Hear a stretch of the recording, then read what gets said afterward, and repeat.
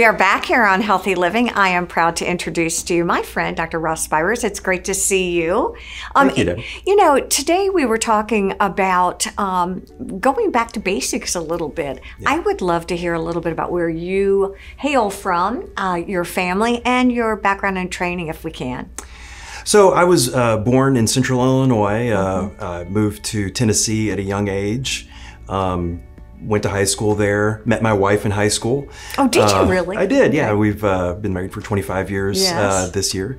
Um, and so young. well, um, but uh, went to college in uh, at Tennessee Tech University in uh, in, in, Central Tennessee, um, and then went off to medical school in Eastern Kentucky in uh, Pikeville, Kentucky at Kentucky College of uh, Osteopathic Medicine, and then did my residency at East Tennessee State University. Did you always want to go into medicine? So I, um, in college, actually was an orderly and became a hospital-trained scrub tech. So I was scrubbing surgeries while in college, and I met my mentor and friend um, who delivered our first child. He uh, turned me on to minimally invasive surgery yes. and obstetrics. And when I went to medical school, they said, What kind of doctor do you want to be? And I said, An OBGYN. Did and, you really? And that's what I became, yeah. Did you enjoy other rotations while you're? I did. I did. I was actually. Uh, I, enjoyed neurology, which okay. was interesting. Um, I liked surgery, uh, mm-hmm. general surgery, uh, which is a little bit longer route, uh, but uh, it interested me. Uh, but you know, ultimately, I, I really like the multifaceted aspect of doing a little obstetrics, which is a lot different than other fields of medicine. Sure. Clinic uh, minimally invasive surgery, big surgery. Uh, so. so. So, let's talk about the evolution of your practice and kind of where you were and where you are now. We were talking uh, before we taped that you're doing a lot with robotics. So, talk right. to me about robotics and how it has sort of infiltrated the um, OBGYN world.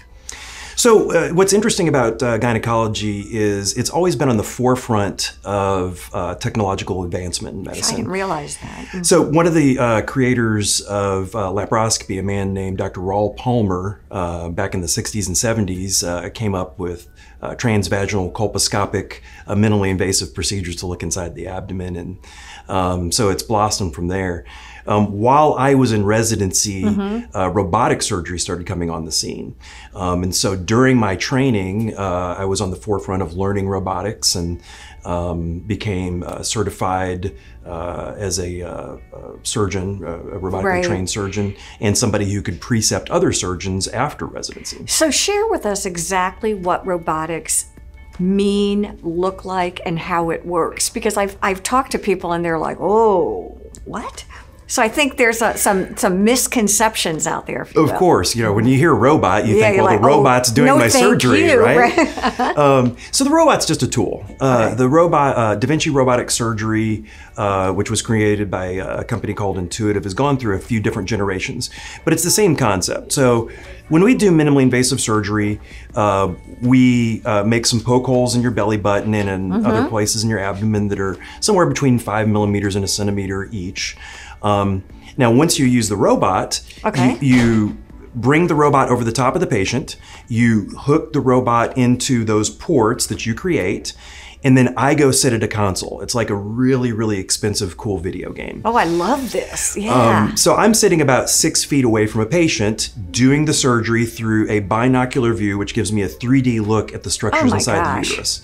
Um, I have full range of motion with the instruments. So as my hands move, the instruments move.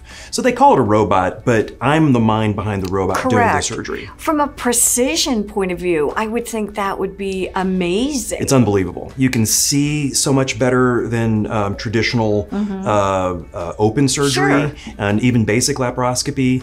And the, the, the fine uh, uh, grasping and cutting and burning is just unbelievable. What kinds of procedures are appropriate for this minimally, minimally invasive robotic surgery? What are you doing, or what are you seeing done? So there's uh, there's procedures I do, and then there's procedures that other specialists do. I'll tell you a little bit yeah, about what more, I do first. Yeah, yeah. Um, so uh, we'll do anything from simple ovarian cystectomies or ovarian removal for tumors. Um, We'll do uh, fertility surgery, uh, things like myomectomies. Okay, which is? Uh, myomectomy is removal of tumors of the uterus, which Okay. could stop you from getting pregnant. Got it.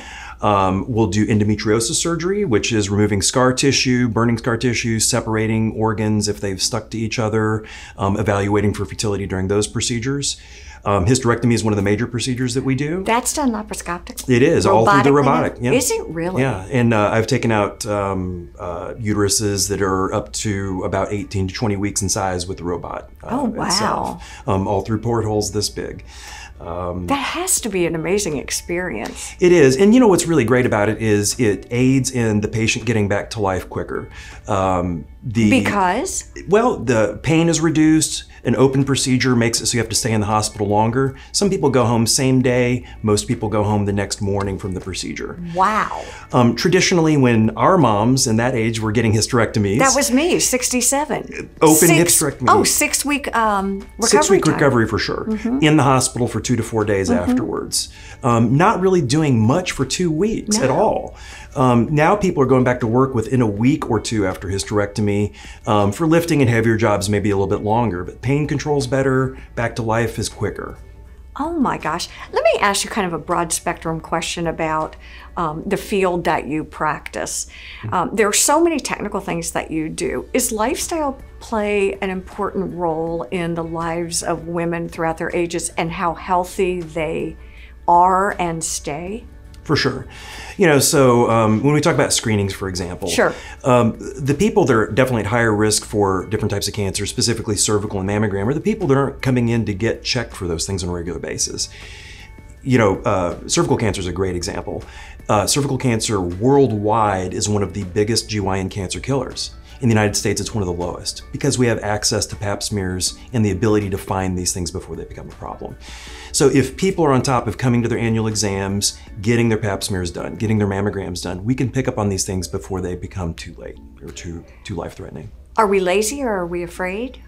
Or are we taking care of everybody else and neglecting? Boy, that's the maternal instinct's a big thing, right? So I hear that all the time from from from moms, the matriarchs of the family. You know, oh, I had the kids. I, and- had, I, yeah. I had to take care of so and so and Yeah. do this and that. I couldn't get and take my my pap smear. It's it's it's a chronic problem, you know. And and, and, and cheers to those moms who take care of everybody else, but you got to take care of yourself to be able to take care of everybody. Let me ask you a question then. As we get older in our 60s, like I said, I'm 67, Mm-hmm. does it change how often I need to come? Have the rules changed? Um, do I still come every year for a routine exam? So a, a routine exam is recommended every year, specifically a breast exam and a hand pelvic exam. Um, pap smear, um, depending on your age, can be anywhere from uh, every couple of years Okay. um, to not at all if you're post hysterectomy. Uh, you know, obviously that depends if you had Sure. abnormalities in the past. Um, mammograms, uh, currently starting at age 40, if you're low risk, um, should be done every year or two, depending Bone on risk factors.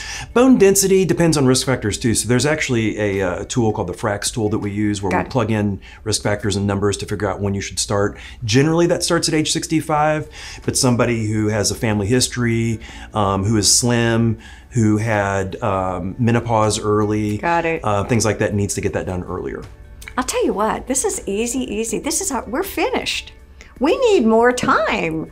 Doc, it is great to talk to you. It is always fun. It's great because you got a lot of information and you're very user friendly, which I think is important. Well, Debbie, Thank you for appreciate it. Thank joining you. us. Stay with us. There's more to come on Healthy Living.